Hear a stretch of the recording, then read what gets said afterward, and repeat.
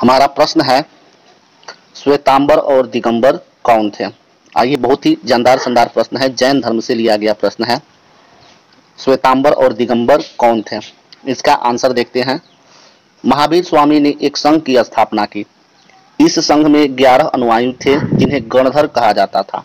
अर्थात जैन धर्म का प्रचार प्रसार करने के उद्देश्य से महावीर स्वामी ने अपने ग्यारह मुख्य अनुयायियों के साथ एक संघ का गठन किया था। जिन्हें गणधर कहा जाता था। महावीर स्वामी की मृत्यु के पश्चात इन्हीं गणधरों ने संघ को आगे बढ़ाया।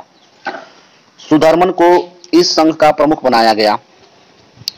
चंद्रगुप्त मौर्य के समय ही आगे चलकर इन गणधरों में मतभेद होने लगे, जिसके कारण जैन धर्म दो भागों में विभक्त हो गया, श्वेतांबर और दिगंबर। अर्थात श्वेतांबर और दिगंबर जैन धर्म के दो संप्रदायों का नाम है। आइए बारी बारी से देखते हैं। श्वेतांबर क्या थे? क्या करते थे? और दिगंबर क्या थे?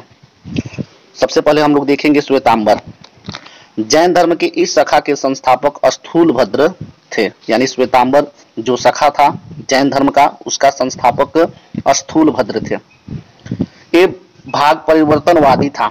ये बदलावों का समर्थन करते थे। यानी ये जितने भी संसार में परिवर्तन हो रहा है, उन परिवर्तनों को ये स्वीकार कर लेते थे।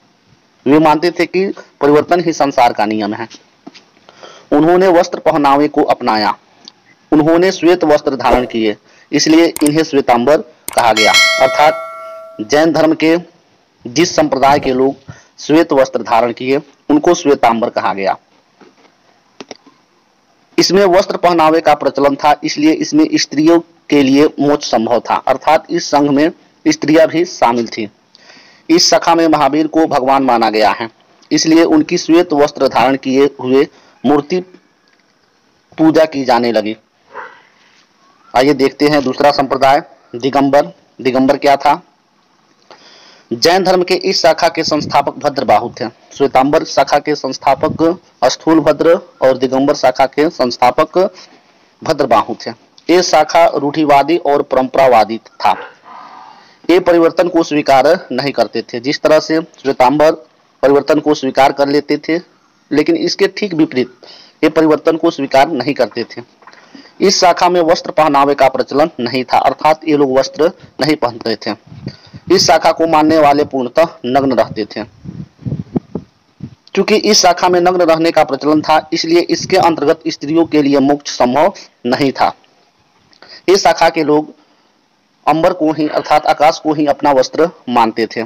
इनके अनुसार महावीर मात्र एक मनुष्य थे। इसलिए ये उनकी नग्न मूर्ति की पूजा किया करते थे। तो उम्मीद है कि आप लोग को समझ में आया होगा। तो वीडियो को लाइक, कमेंट और शेयर ज़रूर कीजिए। धन्यवाद।